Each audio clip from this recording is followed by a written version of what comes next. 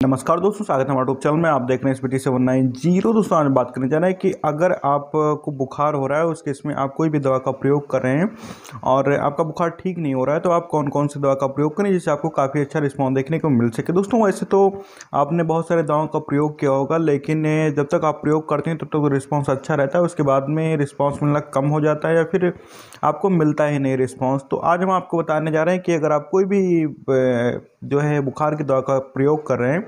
तो उसके साथ में आप कौन सी विटामिन की दवा लें जिससे आपको काफ़ी अच्छा रिस्पॉन्स देखने को मिल सके। आपके डॉक्टर ने जो भी दवा दिया हो, हम आपको दवा भी बता देंगे अगर आपको नॉर्मल फीवर है, लेकिन अगर आपको ज़्यादा फीवर है और किसी भी दवा के प्रयोग से ठीक नहीं हो रहा है तो एक बार आप डॉक्टर से कंसल्ट ज़रूर कर लीजिए, उनको दिखा लीजिए, क्योंकि प्रेजेंट टाइम में कोरोना का चल रहा है समय और इस टाइम पर अगर आप लापरवाही करेंगे तो आपको भारी नुकसान देखने को मिल सकता है।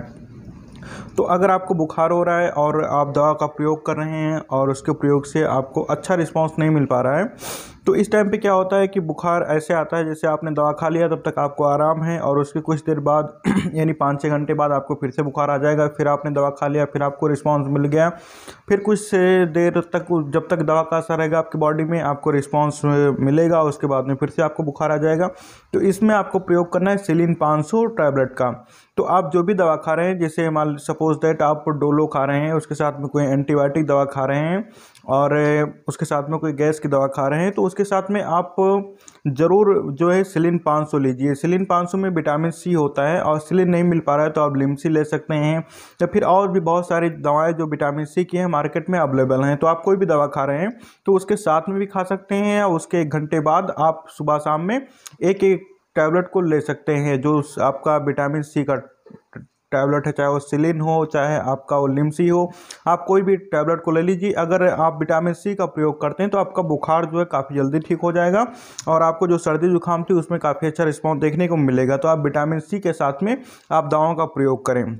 बात कर लेते हैं, अगर आपको नॉर्मल सा फीवर है तो उसके इसमें आप कौन कौन सी दवा का प्रयोग करें?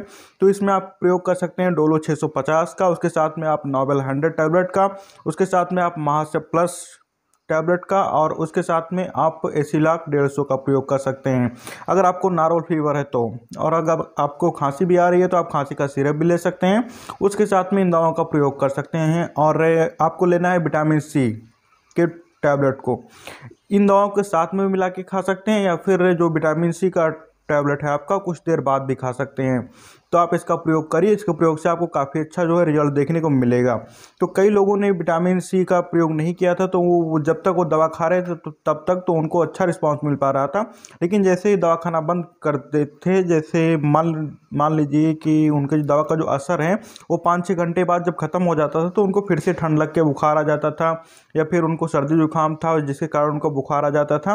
लेकिन जब से उन्होंने विटामिन सी के टैबलेट्स का प्रयोग किया है, तब से उनको काफ़ी अच्छा जो है रिज़ल्ट देखने को मिला है तो आप कोई भी दवा का प्रयोग करें, बुखार का, सर्दी जुकाम का तो उसके साथ में भी इस समय इस समय पर विटामिन सी लेना काफ़ी आवश्यक है आपकी बॉडी के लिए। तो आप, अगर आप कोई भी दवा का प्रयोग कर रहे हैं तो आप सिलिन को ले सकते हैं, सिलिन पाँच को या फिर लिमसी को, या फिर ये दोनों नहीं मिल पा रहा है आपके यहाँ पे तो कोई भी आप विटामिन सी के जो है टैबलेट्स को ले लीजिए मेडिकल स्टोर पे जाके और उन दवाओं के साथ में प्रयोग करिए। चाहे आप साथ में प्रयोग करें, चाहे घंटे बाद प्रयोग करें, चाहे घंटे पहले प्रयोग करें, आपकी उम्र बस 18 साल से ऊपर की होनी चाहिए और खाना खाने के बाद में ही सभी दवाओं का प्रयोग करना है।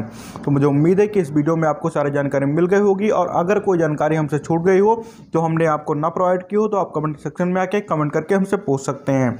मिलते हैं आपसे अगले वीडियो में एक नए प्रोडक्ट के साथ में। तब तक के लिए धन्यवाद। आप अपना ख्याल रखिएगा।